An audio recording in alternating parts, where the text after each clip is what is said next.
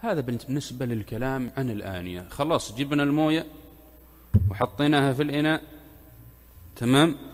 ونبغى نتوضأ. قبل هذا الماء الطهور يجوز الوضوء به صح ولا لا؟ طيب هل يجوز شربه ولا لا؟ يجوز شربه صح ولا لا؟ بعد إذنكم أشرب ممكن. بسم الله. الحمد لله هذه على فتواكم. طيب نبدأ أولا بالوضوء وهو الطهارة لأنه قلنا الطهارة إيش؟ الطهارة نوعان صغرى وإيش؟ وكبرى. نحن الآن في الوضوء الوضوء هو الصغرى ولا الكبرى؟ هو الصغرى. الوضوء يتعلق به فروض ويتعلق به واجب ويتعلق به سنن وشروط. نبدأ أولا بفروض الوضوء. فروض الوضوء ذكرها الله عز وجل في قوله يا أيها الذين آمنوا إذا قمتم إلى الصلاة فاغسلوا وجوهكم وأيديكم إلى المرافق وامسحوا برؤوسكم وأرجلكم إلى الكعبين. هذه أربعة فروض. وفي الآية ضمنا الفرضان الآخران وهما الترتيب والموالاة. إذن الفرض الأول فاغسلوا وجوهكم غسل الوجه. والوجه ما هو؟ الوجه ما تحصل به المواجهة ويدخل فيه من منابت الشعر المعتاد. تمام؟ إلى من حدر من اللحية. يعني حتى الإنسان اللي عنده لحية يجب أن يغسل ظاهرها. ماشي؟ ومن الأذن إلى الأذن عرضا. هذا هو ضابط الوجه. واضح؟ طيب ويدخل فيه المضمضة والاستنشاق ولا لا؟ نعم يدخل فيه المضمضة والاستنشاق. إذا هذا الفرض الأول. إذا قمتم إلى الصلاة فاغسلوا وجوهكم. الثاني غسل اليدين. قال الله عز وجل وأيديكم إلى المرافق. والمرفق داخل. ويدخل في اليد في فروض الوضوء اليد من أطراف الأصابع إلى المرفق. ومن الأخطاء الشائعة بعض الناس في أول الوضوء يغسل يديه ثلاث مرات. هذا الغسل في أول الوضوء ثلاث مرات. حكمه إيش؟ سنة من حيث الأصل. في استثناء سيأتي. طيب فإذا غسل يده ثلاث مرات في أول وضوء ثم غسل وجهه وتمضمض واستنشق ثم جاء يغسل يده هل لابد أن يغسل الكفين مرة أخرى؟ نعم. فرض من فروض الوضوء ما يسقط لا سهوا ولا عمدا. فتغسل يدك من الأطراف إلى المرفق. ماشي؟ هذا هو غسل اليدين. الثالث مسح الرأس. ولا بد من تعميم جميع الرأس. ومنه الأذنان. الأذنان من الرأس. ماشي؟ الرابع غسل الرجلين إلى الكعبين. الكعب إيش هو؟ بعض الناس يسموا الكعب يطلقون الكعب على العقب. الكعب كل رجل فيها كعبان. لما نقول غسل الرجلين إلى الكعبين الرجل الواحدة فيها كم كعب؟ فيها كعبان. كعب عن اليمين وكعب عن الشمال. إيش هو الكعب؟ اللي هو المفصل الذي يربط القدم بالساق. واضح؟ فلا بد من غسل الرجلين الكعبين. الخامس ترتيب الفروض. فين ترتيب الفروض في الآية؟ الآية هل ذكر فيها الترتيب ولا ما ذكر؟ ها. فين في الآية؟ الآية ذكرت الوضوء مرتبا لكن هل الواو تقتضي وجوب الترتيب؟ ها طبعا خلاف بين اللغويين. الأشهر عند اللغويين أن الواو لا تقتضي الترتيب بل قد يؤتى بالواو لمطلق الجمع. يا سلام عليك. ما شاء الله أحسنت.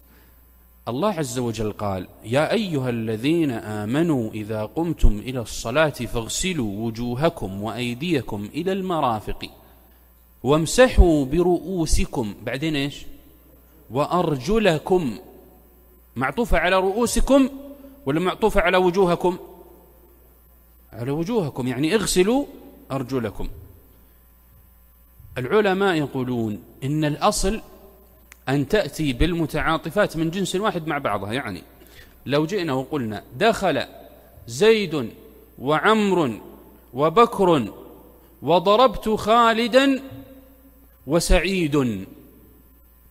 دخلكم في النحو شوية بس مخرج كذا على على جنب.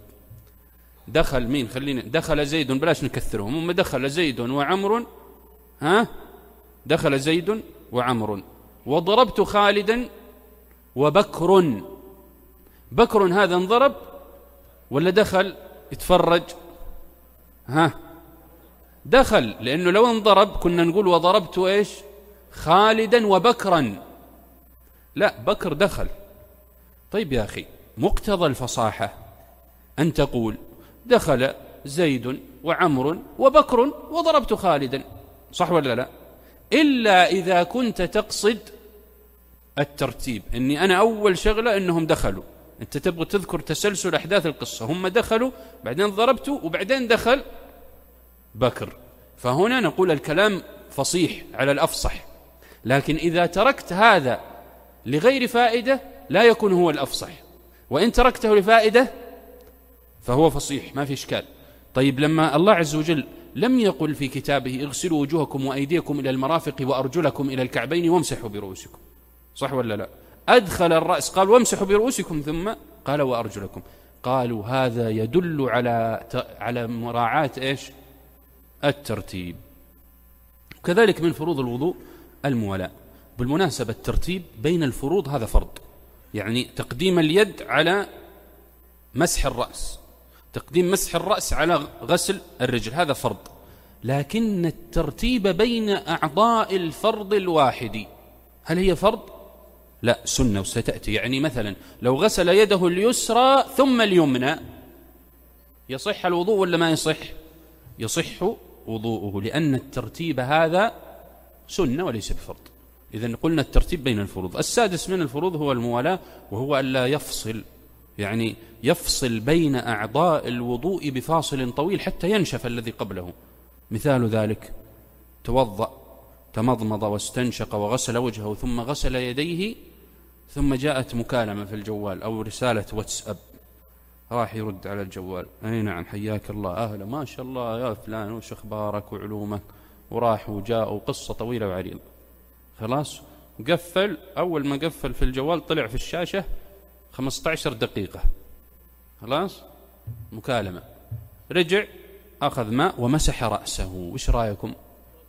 صح ولا غلط؟ غير صحيح. لأنه فوت الموالاة. فصل بين الأعضاء بفاصل طويل فلا يصح وضوءه لأن الموالاة فرض. إذ هذه فروض الوضوء. ننتقل إلى واجبات الوضوء. إيش الفرق بين الفروض والواجبات هنا؟ الفرق هنا بين الفروض والواجبات أن الفرض لا يسقط عمدا ولا سهوا. أن الفرض لا يسقط عمدا ولا سهوا. يعني لو ترك غسل الوجه وجاك بعد الصلاة قال والله أنا توضيت ونسيت أغسل وجهي. كل أعضاء الوضوء إلا غسل الوجه. تقول وضوءك صحيح ولا باطل؟ وضوءك غير صحيح تعيد الوضوء والصلاة. طيب يا أخي ناسي نقول الفرض لا يسقط حال النسيان. وأما الواجب فإنه يسقط في حالة النسيان. ماشي؟ طيب. بالنسبة للواجبات عندنا أولا التسمية وهو أن يقول بسم الله في أول الوضوء فإذا تركها سهوا صح وضوءه. وإذا يبغى يتوضأ في دورة المياه مكان قضاء الحاجة ما يقول بسم الله. نقول يقول بسم الله قبل أن يدخل. يقول بسم الله ويدخل يتوضأ. ماشي؟ الثاني غسل الكفين ثلاثا في حالة خاصة وهي القائم من نوم الليل الناقض للوضوء. واحد نايم بعد صلاة العشاء وقام يصلي الفجر وراح وتوضأ. نقول يجب وجوبا أن تغسل كفيك ثلاثا قبل الوضوء. واضح؟ لكن واحد ما نام بس انتقض وضوء مثلا دخل دورات المياه وخرج وتوضأ. هل يجب عليه غسل الكفين ثلاثا أول الوضوء؟ نقول يستحب ولا يجب. واضح؟ وهذا مقيد أيضا بنوم الليل دون نوم النهار لأن الحديث قال فإن أحدكم لا يدري أين باتت. علماء اللغة يقولون البيتوتة لا تكون, لا تكون في النهار. النوم في النهار ما تقول بات تقول نام لكن لا تقول بات. ماشي؟ ننتقل بعد ذلك إلى سنن الوضوء. ما هي سنن الوضوء؟ ولا هذه الشروط؟ الشروط. نبدأ. الشرط الأول من شروط الوضوء هو إيش؟ هاي شيخ. نعم. شروط الوضوء. النية. صح. النية من شروط الوضوء. إيش اللي عندك في الكتاب الأول؟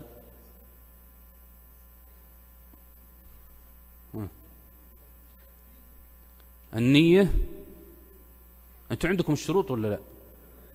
ها صهيب تجيب لي كتاب من ورا؟ يلا جيب لي كتاب من برا هناك. نسخة لي ونسخة ليك. طيب؟ نسخة لي ونسخة ليك من ورا هناك. طيب. آه الأول من شروط الوضوء إيش هو؟ النية. أحسنت. فلو أن الإنسان توضأ الله يجزيك خير. ممكن نسخة لصهيب شيء الله خير. طيب لو أن الإنسان راح قام قايم من النوم ماشي وإيش سوى؟ قام من النوم فتوجه إلى الوضوء. لا ما راح للوضوء راح لدورة المياه. أخذ المعجون وفرش أسنانه. تمام؟ ثم تمضمض. ليش تمضمض؟ عشان يغسل بقايا المعجون. تمام؟ ثم استنشق لينظف أنفه. ثم بعد ذلك غسل وجهه قال والله لازم أغسل وجهي يصير مضبوط وكذا. ثم أذن الفجر. قال بما أني بما أني غسلت مضمضت استنشقت غسلت وجهي خلاص أكمل الوضوء إيش رأيكم؟ يصلح ولا لا؟ لا يصلح هذا. ليش؟ لأنه لم ينوي والنية لا بد أن تكون من أول العبادة. الثاني من شروط الوضوء طهورية الماء وإباحته. يعني إيش طهورية الماء وإباحته؟ أن يكون الماء أن يكون الماء على قول الشيخ أبو زيد ها؟ صوت واحد. طاهر ولا طهور؟ طهور أحسنت. وليس طاهرا. وإباحته يعني لو توضأ لابد يكون الماء طهور. الثاني إباحته. خذ خذ نسخة. طيب. إباحته يعني إيش؟ أن يكون مباحا. كيف يعني يكون الماء مباح؟ هذا واحد وصل إلى المسجد حصل دورات المياه خلصت الموية فيها. والناس يصلون في المسجد. وش الحل؟ شاف البقالة اللي جنب المسجد مفتوحة ما قفلها. دخل وأخذ قارورة ماء ما حد شافه وأخذها وتوضأ بها. هذا ماء مباح ولا محرم؟ هذا ماء محرم مسروق صح ولا لا؟ فنقول لو توضأ به فوضوءه غير صحيح. ماشي؟ الثالث من شروط الوضوء إزالة ما يمنع وصول الماء إلى البشرة. الله عز وجل قال فاغسلوا وجوهكم وأيديكم إلى المرافق. لو كان هناك مانع يمنع من وصول الماء إلى البشرة هل غسل اليد؟ لا. الرابع وهذا ينبه عليه النساء بالنسبة للمناكير مثلا وبعض الأشياء تمنع وصول الماء إلى البشرة فلا بد من إزالتها. الرابع التمييز والعقل فلا يصح من المجنون ولا من الصبي غير المميز. الخامس الإسلام فلا يصح من الكافر. السادس إزالة الخارج من السبيل. فلو أن الإنسان قضى حاجته ثم ذهب يتوضأ دون أن يستنجي أو يستجمر فالوضوء صحيح ولا غير صحيح؟ غير صحيح. الاستنجاء والاستجمار شرط لصحة الوضوء إذا كان الوضوء بعد قضاء الحاجة. ولا يفهم من كلامنا هذا يقول واحد كل مرة أتوضأ أستنجي. لا. الاستنجاء هل هو متعلق بالوضوء ولا متعلق بخروج خارج؟ خروج خارج. فإذا خرج الخارج لا يصح أن تتوضأ إلا بعد الاستنجاء. ماشي؟ هذا ما يتعلق بالشروط. خلينا نكمل السنن ونجيك. طيب سنن الوضوء منها أولا السواك ومنها ترتيب الفرض الواحد. يعني إيش ترتيب الفرض الواحد؟ مثل ما قلنا أول اليدين أو اليدان حتى ما يزعل النحويين منا حتى ما يزعل النحويون منا يلا كمان هذه زعلناهم زيادة. أقول آه اليدان اليمنى واليسرى لو بدأ باليسرى قبل اليمنى يصح الوضوء ولا لا؟ يصح الوضوء لأن هذا فرض واحد فالترتيب الترتيب فيه سنة. كذلك من سنن الوضوء تخليل الشعر الكثيف والأصابع والتخليل ياخذ خل ويحطه في أصابعه ولحيته صح كذا؟ ها تخليل يعني من الخل ولا؟ التخليل إيش هو؟ أي نعم التخليل يعني إدخال الماء من خلالها. ماشي؟ فتخليل الأصابع يتأكد أن الماء دخل من خلال الأصابع وتخليل اللحية يأخذ كف من ماء ويخلي لحيته. تخليل اللحية الكثيفة سنة. أو الشعر الكثيف اللحية مثلا حتى لو عنده شارب كذا تخليل الشعر الكثيف سنة. طيب إذا كان الشعر خفيفا ترى البشرة من ورائه مثل العوارض هذه. فهل يجب إيصال الماء إلى البشرة؟ نقول نعم يجب إيصال الماء إلى البشرة. كذلك من سنن الوضوء التثليث. والتثليث أن يغسل عضو ثلاث مرات. أشوف بعض الشباب يضحك لما أنوي أقول نكتة. حافظين الدرس الظاهر بعضهم ما شاء الله. طيب التثليث أيها الأخوة الكرام هو غسل العضو ثلاث مرات. والتثليث إنما يكون في في الممسوحات ولا في المغسولات؟ في المغسولات لا في الممسوحات. مسح الرأس تثليث ولا مرة؟ مرة واحدة يقبل ويدبر نعم لكنها مرة واحدة. ماشي؟ المسح على الخفين. ها؟ مرة واحدة ليس فيه تثليث. خلينا نعطيكم هنا استطراد. التثليث نقول أنه سنة. بعض الكتب لو قرأت بعض كتب في الأديان والفرق تلقاهم ينصون على أن التثليث كفر. صح ولا لا؟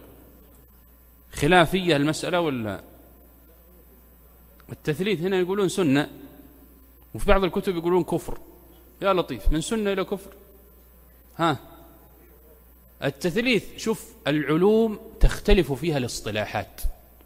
اللفظ الواحد تجده في علم من العلوم بمعنى وفي علم آخر بمعنى آخر. التثليث في كتب الفرق والأديان هذا كفر. دعوة أن الله ثالث ثلاثة هذا كفر مخرج من الملة.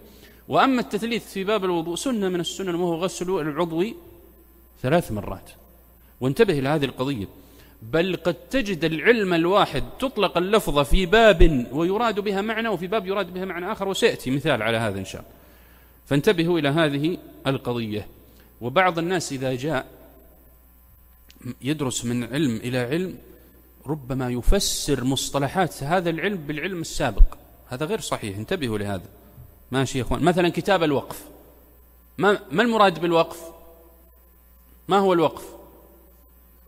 في علم التجويد الوقف شيء وفي علم الفقه الوقف. في علم التجويد في باب اسمه باب الوقف صح ولا لا؟